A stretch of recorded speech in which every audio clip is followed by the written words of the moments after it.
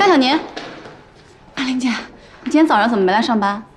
老板让我请假的，说等他回来我再上班。你知道他行程？他只跟我说有事在忙，却不知道在忙什么。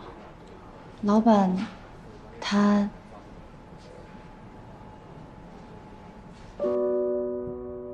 我怎么会有你这样一个儿子？你居然能说出这样的话来？你伤的不是你的心脏，你伤的是你的心。你们能不能当做没我这个儿子？好啊，我同意。爸妈，对不起。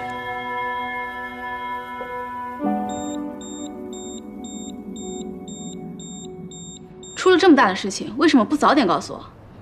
不好意思，曼玲姐，我以为老板会告诉你的。那现在人在哪里？人怎么样？他看起来挺好的，我去家里给他做了饭，现在在家陪爸妈吃饭呢。你做的饭？啊，我看他受伤了，就简单做了几道菜。那你快把地址给我，我去看看他。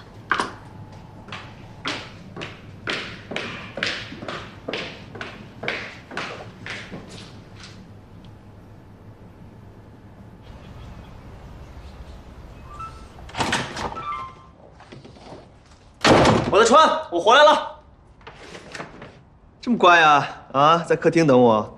看还是我好吧，出去一趟还知道给你买点慰问品回来。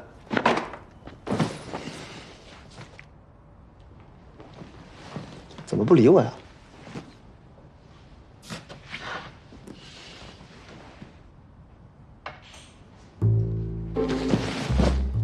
别激动，有话咱们慢慢说。你要不要先离我远一点？为什么把我家密码告诉我爸妈？不是，你亲爸亲妈也不能说啊。当然不能说了，没有我的允许，谁都不能说。我发现你是不是恨不得把我家密码贴在你脑门上呀？没有。好好好，我以后不说行了吧？你就看在我给你买了这么多东西的份上，消消气。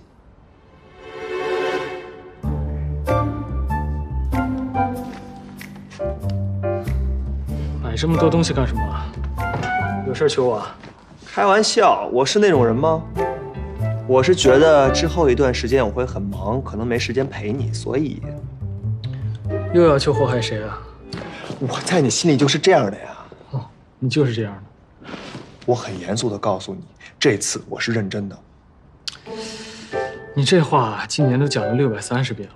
这次不一样，我觉得这次就是那种命中注定的缘分，好像我之前谈的所有恋爱都是为了这一次相遇在做积累。而且你知道吗？她居然是江小宁的闺蜜。我明白了，你是来求我去找江小宁，再帮助你是吧？我求你干嘛？我许春然需要别人帮忙吗？不需要是吧？那行，那你回去吧。哎哎哎，我才刚进来你就轰我走我给你讲讲这个女人，我从来没有遇到过像她这样的女人。是吗？是啊，而且你想想，万一将来你跟江小宁，我跟妍妍，那咱哎，好了好了，打住打住打住！我发现你现在怎么跟江小宁一样，天天做白日梦啊啊！赶快回去吧，别耽误我时间了啊！我忙着，待会儿呗。妈哎，有客人，我去开门。曼琳，顾总，我听江小宁说了，出了这么大的事情，怎么不告诉我呢？伤怎么样啊？你怎么找到这儿了？他今天心情不太好。谢谢你来看我，但我今天不太想见人。我就是来看看你，知道你没事儿，我就放心了，我这就走。你身体不舒服的话，再多休息几天。明天有一件事情，可能要麻烦你一下。需要我做什么吗？我爸妈明天回去，所以让江小宁送啊。我去送他们，你放心吧。谢谢啊。徐胜然，嗯，把门关好。哦。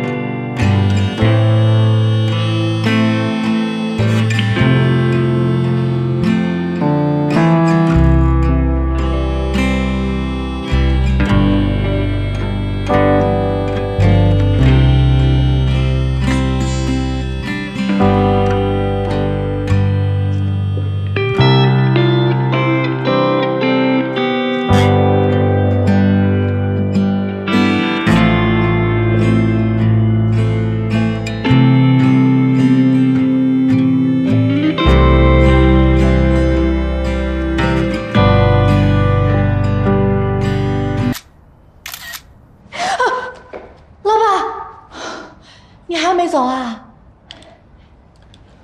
尺寸有误差，比例也不对。不可能，我刚刚都量过了。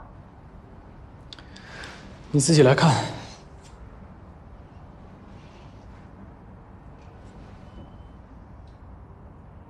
多了两毫米，而且你胶水用的太多了，我不喜欢这种粗糙的东西出现在我面前。那怎么办呢？还能怎么办？先吃饭吧。